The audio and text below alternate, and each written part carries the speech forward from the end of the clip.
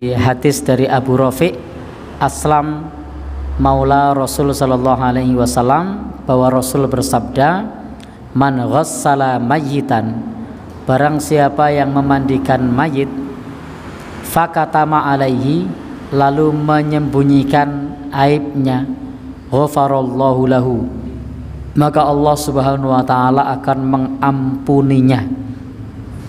Jadi ini keutamaan untuk menyembunyikan aib mayit.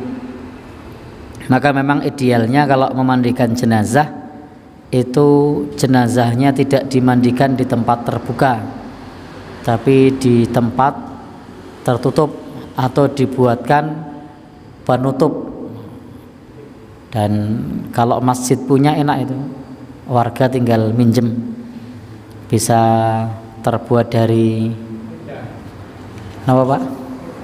Ya tenda yang bisa bongkar pasang. Karena kalau pakai kain dipegangi itu malah koyo CCTV bagi yang megang. Nah, melihatnya gini loh. nah, jadi panggung. Jadi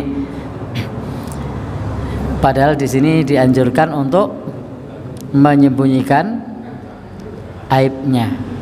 Tidak boleh aibnya itu disebar.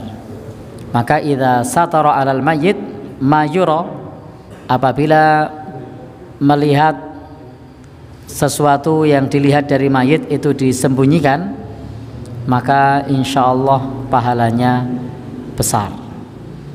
Baik yang terkait dengan kondisi mayitnya keadaannya atau jasadnya. Misalnya mayitnya punya celah masa hidupnya ataupun jasadnya. Tidak usah diceritakan.